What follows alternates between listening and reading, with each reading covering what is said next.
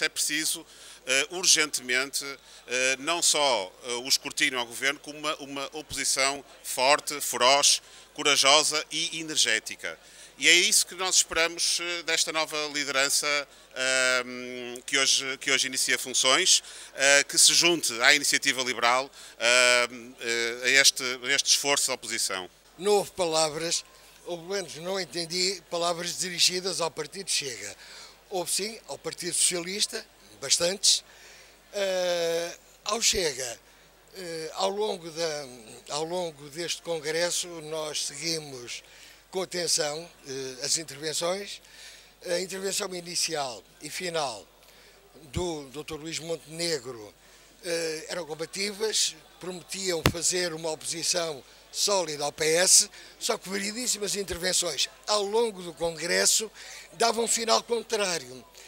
Portanto, nós no Chega ficamos com algumas dúvidas, o que para nós é preocupante, porque se para o partido, um, um partido social-democrata que seja frágil na oposição, como é evidente, eh, nos cai particularmente bem, já para Portugal neste momento, uma oposição frágil a esta desgraça que é a governação do Partido Socialista, já consideramos que é um perigo grave.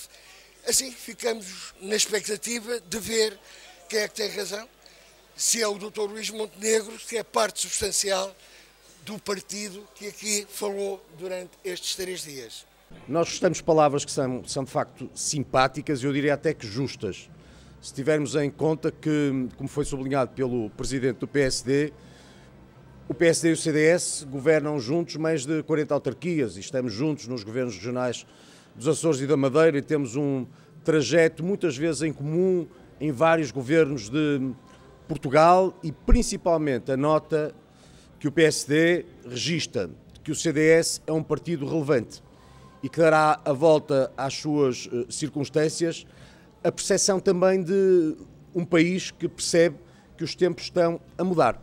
E devo dizer outra coisa, é muito importante que o espaço político de centro-direita cresça e eu desejo a maior sorte ao Dr. Luís Montenegro e ao PSD, sendo que o CDS tratará de, por si, também reforçar aquilo que é a sua força, ganhar músculo, voltando ao Parlamento, certamente em 2026, se não for antes. Este Congresso é, sobretudo, marcado por uma ideia: a de que o futuro do PSD é o regresso ao passado.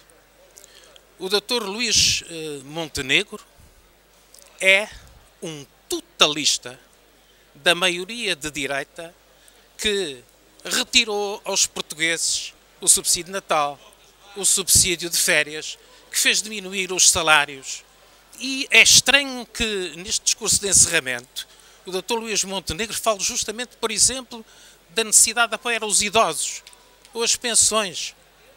Quando em 2015 o PSD do Dr. Luís Montenegro, e ele era um dos rostos mais notórios dessa maioria de direita, pretendia retirar 600 milhões de euros às pensões dos nossos reformados. Luís Montenegro é, por isso, um líder por conta.